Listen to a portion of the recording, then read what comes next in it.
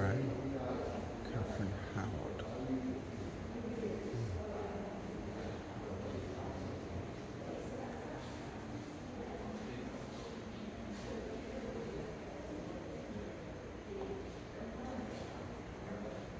Sure.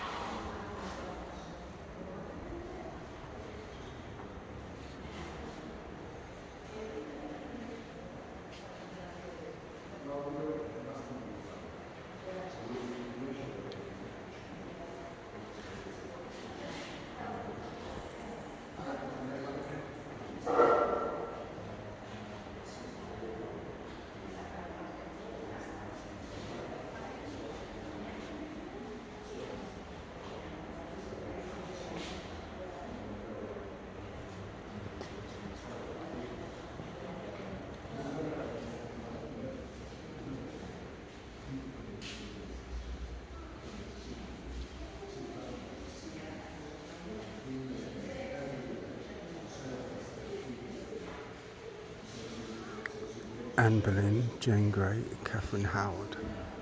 Uh, those bits there.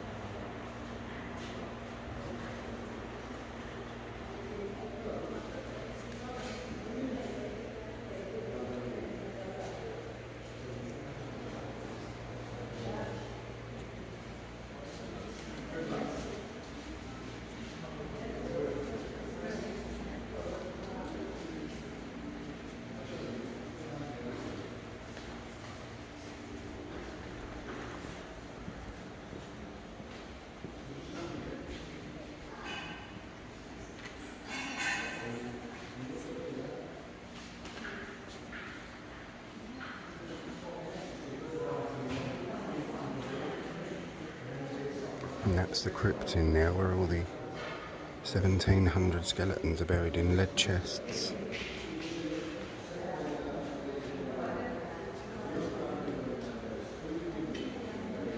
This tomb was made for a man who was a constable of the tower.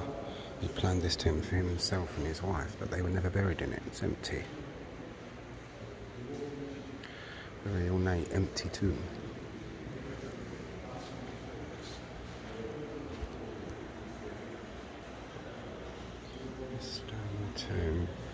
Shows Sir Richard Cholmondeley, lieutenant of the tower from 1513 to 1520. Sir Richard oversaw the building of this chapel for Henry VIII sometime between 1649 and 1660. The chaplain John Shippett hid the chapel's medieval font within this empty tomb. Shippett probably wanted to keep the font safe during the English Civil War. The font was rediscovered in 1876 when the tomb was moved into the centre of the chapel. Oh, Conservators have restored the font which dates from 1350 to 1490. It is now regularly used at services and can be seen in the entrance to the chapel. And I know about that font, it's still one of the oldest working fonts in London.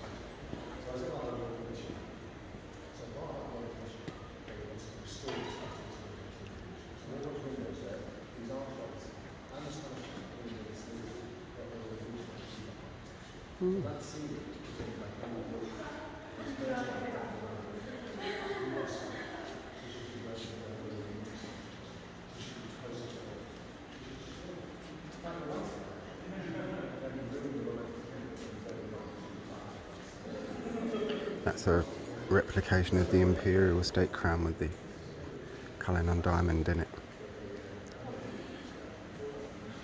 The ceiling is Spanish cedar, I think they said it was.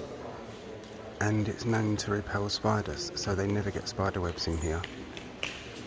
It's either Spanish elm or Spanish cedar, something like that. Oh look, that's lovely.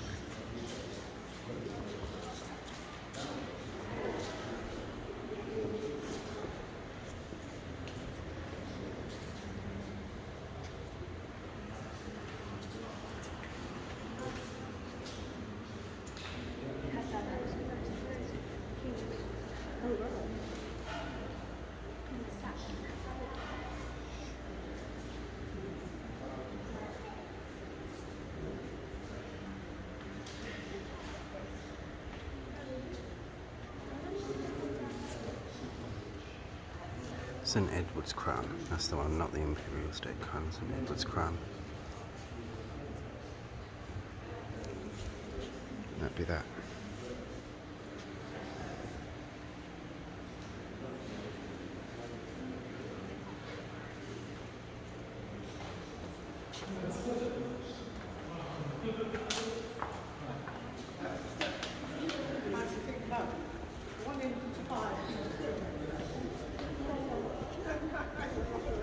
Well, quite how I got away with that, I don't know because you're not normally allowed to take photographs.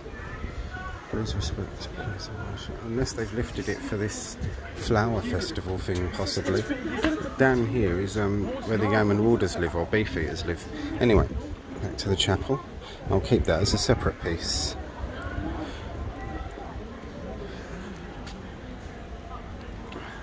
Chapel was built in the reign of Henry VIII.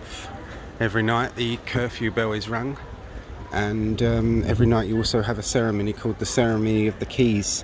This ceremony has been performed since medieval times and has only been interrupted once and that was in the Second World War when a bomb hit. Um, the ceremony carried on some minutes late and the soldiers or yeomen that were involved in it wrote to the king and apologised, offering their resignation because they'd interrupted the ceremony. And the king wrote back to them immediately and said there was no need for that. And in fact, he commended them and thanked them for carrying on the ceremony and doing their duty. So yeah, it's a little piece of um, Tower of London history. This, anyone that's watched my page will know I've been here a good few times. So and anything that interests me or I love, I just try and find out as much as I can about.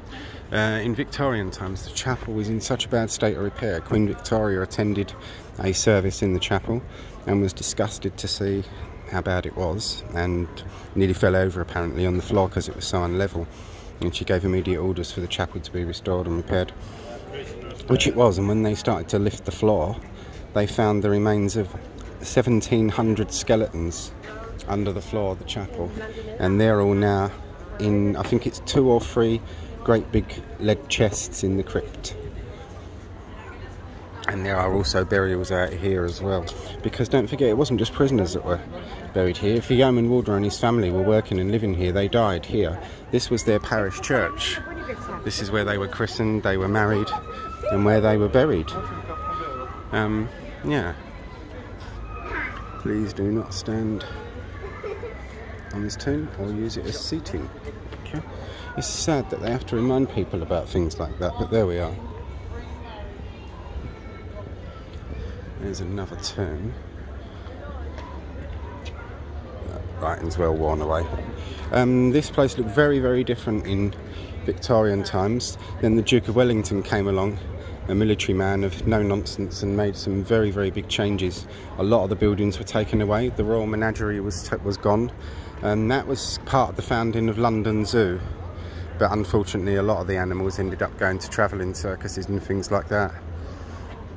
And yeah queen victoria was not a happy lady when she came here. I think it was in 1876 it was in the 1870s and saw how bad the chapel was. And she released royal funds and gave the order that it must be repaired immediately. We're standing here at the high altar and I've never ever been able to film in here before ever inside the chapel. Where we stood inside there is the high altar and you've got Anne Boleyn, Catherine Howard and Jane Grey who are buried under those fancy tiles with the coats of arms on them. You've also got Jane Grey's husband, Lord Guildford Dudley, uh, Anne Boleyn's brother, George Boleyn, George Boleyn's wife, Jane Rochford, she helped Catherine Howard uh, move her, get her lovers into um, the privy, basically. Yeah, yeah. Jane Rochford helped sneak. I think it was Thomas Wyatt and uh, Thomas Culpepper or something like that. It was one of the it was one of the Wyatts or the Culpeppers sneaked into Catherine Howard's privy to um, yeah engage in carnal copulae. So yeah, the king, when he found out, was was pretty pissed off, and Henry VIII was not a person that he pissed off and got away with it. So none of these people got away with it.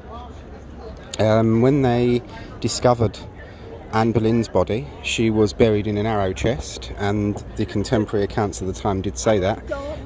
It was expected right up until the last minute that Henry VIII would change his mind and give a reprieve. He didn't. So a coffin hadn't been got ready. So Anne Boleyn was bunged into an arrow chest with her head.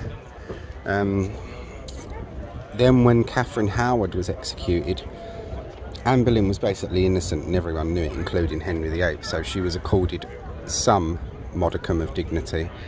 Some, not much, but some. Catherine Howard, when they discovered the place where she should have been, there were no bones, just the remnants of lime and, and a few pieces. And it is believed that Henry VIII hated her so much for what she'd done to him because she, she basically shamed him uh, made him a cuckold, and he didn't do that to Henry VIII. And that he believe that it is believed that he possibly may have given orders that her body was to be buried in lime, so it would be destroyed. And that was the ultimate punishment for someone in those days, in the religious era, where you, they believed your body needed to be intact or your bones needed to be intact, so you could rise for Judgment Day. They, uh, yeah, a pretty big punishment for Catherine Howard. But the spot where her body is was is there, and it is known. So yeah. There we are, ladies and gentlemen. That, my friends, is the Chapel of St Peter ad Vincula. And I hope that you've all enjoyed that one as much as I did because it's the first time ever I've ever been able to film in there. Ever. There was only one warder about. I don't know if they've lifted the ban. Some people were taking pictures covertly. Um, I just got the camera out and did. So there we are. Take care all. I really hope you enjoyed this one. If you did, please give it a like and a share. And be respectful, of course. Um, I know I was a bit naughty with filming it. I shouldn't have done it, probably. But I do try to be as respectful as I can. And it is history. Uh, if you do it in a respectful way, I think maybe, hopefully they'll forgive me. If I get a big spat of bad luck, I know I've PP'd someone off inside the chapel. Paranormal kind, if you know what I mean. Take care, everyone. no, I'm joking. Um, thank you all for watching. If you did enjoy it, give it a like and a share. Thanks very much.